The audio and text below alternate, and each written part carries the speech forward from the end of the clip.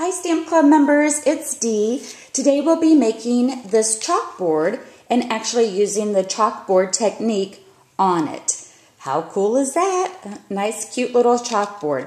I found the inspiration online and I modified some of the instructions just so it would be easier. They kind of over engineered it and we've got a simpler way of doing it. It really needs minimal um, materials, but it's so such a super cute card. Start out with a piece of 4 by 11 piece of cardstock. And then for our wood trim around, it's 3 8 inch strips. Um, I used a 12 by 12 piece of cardstock. This is in the retiring color Sahara Sand, but um, you know, crumb cake or any of the brown tones will work for you, or you know, whatever color that you might like.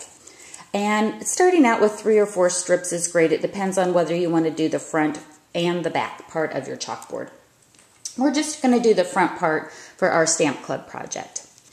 So after you have the cardstock folded in half, um, what we want to do is create the legs of the chalkboard. And again, this is where they kind of had it over-engineered. And what I did is I modified it for us so that um, it's easier to cut that out. Start out with a piece of scrap cardstock, three and a half by one and a half inches. And what I did first is, so that's your, you know, you fold the, fold it in half, your cardstock. At the bottom of the cardstock, place your three and a half by one and a half piece of cardstock and trace around. And after you have that traced, take your scissors and just cut out, you know, cut it out. Don't worry about the trace marks or the cut being just perfect because our little wood frame is going to cover up some of those imperfections. So don't spend a lot of time trying to make it perfect because it's when we do our um, layering for our border look on the chalkboard, it's going to cover up any of those little glitches. So just use your template, cut out the bottom, and voila, we have our little chalkboard um, base. Now that was way easier than the instructions I found online. Believe me, believe me. Next what we want to do is take those 3 eighths strips and um, you know you can go ahead and pre-cut them down to five and a half. I always like to just make it a little longer and then adhere it and then I just kind of trim it up. That's my personal preference. What I did on the 3 8 strip is to have a little wood grain look to it. If you have a wood grain stamp, you could stamp the wood grain, um, you know, kind of feel to it.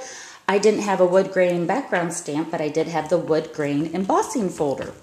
So um, what we're going to do first, I've gone ahead and got the strips embossed for you with the wood grain embossing folder.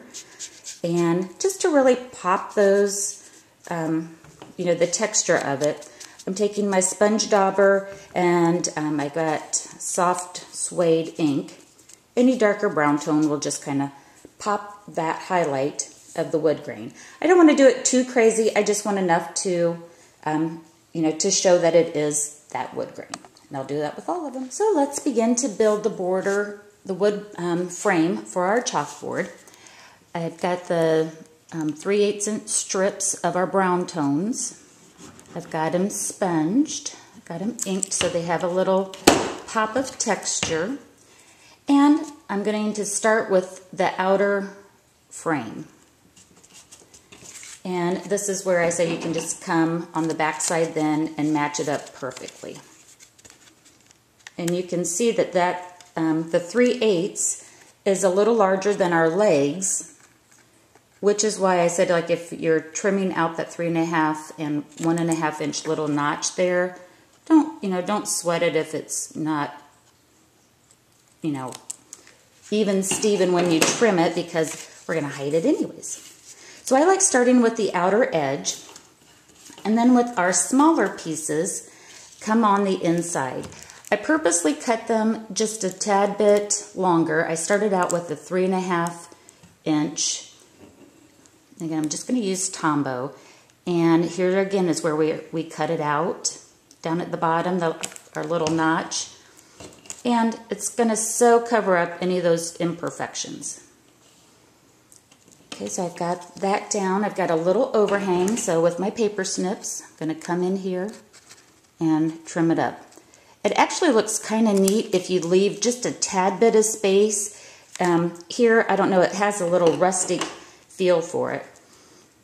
I'm old enough that I remember maybe not standing chalkboards in school, but definitely we had chalkboards, um, not whiteboards or smartboards or any of those things.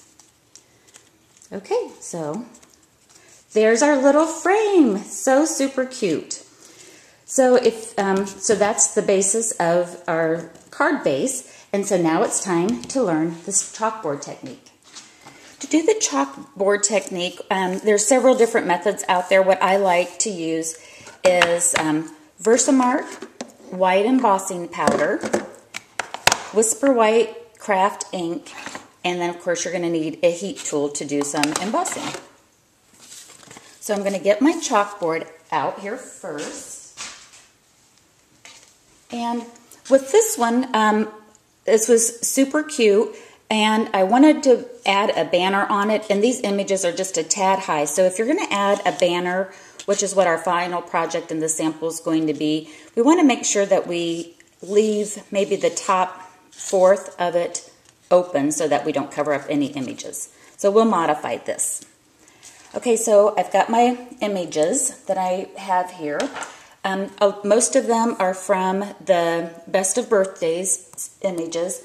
And then I have a, a demonstrator only stamp set um, for another of the phrase. But um, grab your, you know, your favorite stamp set to do this.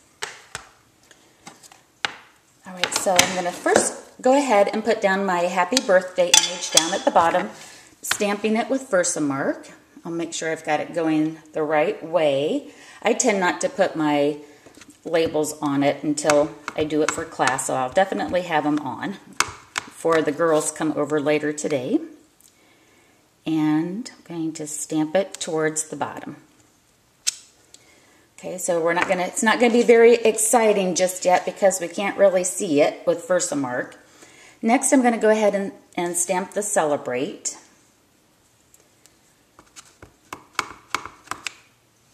Alrighty. And I've got that going this way. Versamark, and then I'll put down the embossing powders. So I'll do those two images first so that you can see you know, how this works.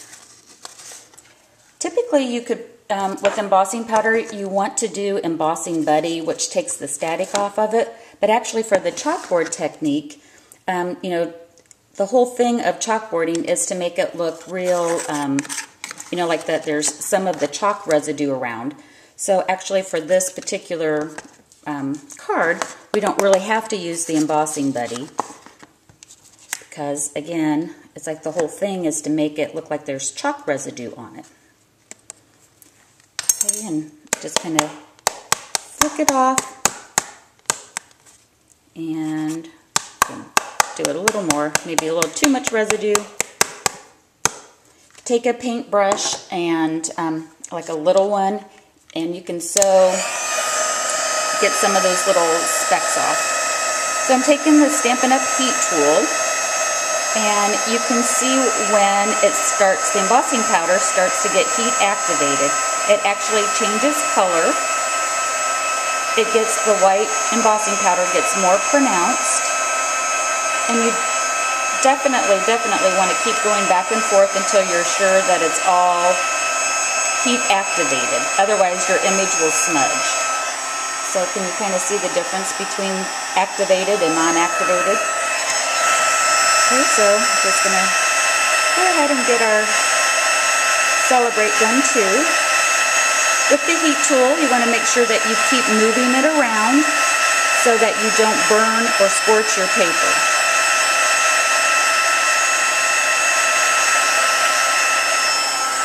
Okay, I've got my images heat activated now. Okay, so that would that's the difference of kind of shows you the embossing buddy too. Like this one I did use it and that's the beauty of the embossing buddy. Okay, so I'm going to do the same thing to the top two images, only making sure that they um, go a little lower on the, on the chalkboard, and I'll be right back. So now it's just a matter if we want to, you know, keep adding some decoration to our chalkboard. And of course the answer is yes. Yes, we do. I've got some um, ribbon that on here, you know, just by adding a few little doodads, some flowers or whatever, that would really dress that one up. And again, that one's the one that I stamped too high. And, whoops, here we go. So I made a little banner using Epic Day. That's some designer paper that's available as a sneak peek through April 2013. And then it's going to be in the new 2013-14 catalog. And I used the mini um, modern or the mini label punch to get that, get the little banner. And I've got the um, Calypso Coral Baker's Twine and went ahead and made a little banner with that. So now um, if you want to make sections, um, take your white gel pen and you know grab a straight edge and start blocking out the images. So I'm going to start with this one and get my white gel pen going. Sometimes you might need some scrap to kind of get your gel pen started. There we go. Okay and I'm going to just box that up. There we go. And I'll turn it this way and box it the happy birthday. There we go. So, you know, you can just kind of maybe box part of it or all of it. Here's the celebrate. I could come in here and maybe do that too. Just kind of, you know, you can section it off, kind of have some fun with it. Do one more section up here. Probably, um, I would, the tip might be to section it off before you go forward with doing some of your items. Oh my gosh, you guys, that is so off center. Square yours up a little bit. Doing it at an angle sometimes has its ups and downs. Okay, so now I'm ready for my banner. And I can go ahead and just put a little glue, put a little Tombow in the corners to do our banner. Such a fun little project.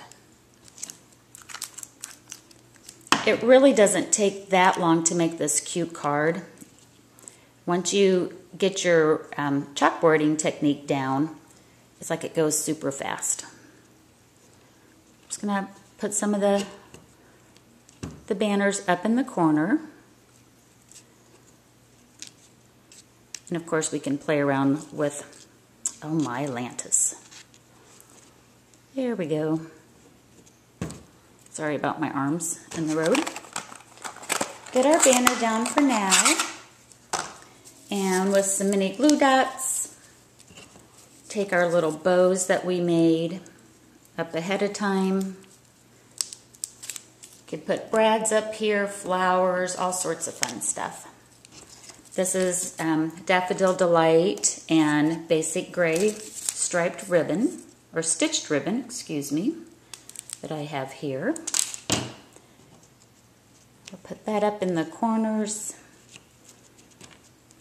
take our paper snips and kind of get our tails of that off. I would normally let that sit for just a couple of minutes to let make sure that the Tombow gets nice and dry and then I would come in and snip off the tails. But that's our little banner card. And then you can play around with positioning your banners and go from there. Such a cute card. Oh my gosh, you guys. Who would not love to receive that as a birthday card? Um, you could go ahead and, you know, stamp additional images and put on the banner there. Um, but for the purpose of our stamp club, we're going to leave it at that. It's all ready for a little birthday chalkboard banner card. Hope you enjoy it, everybody. Happy crafting. Bye-bye.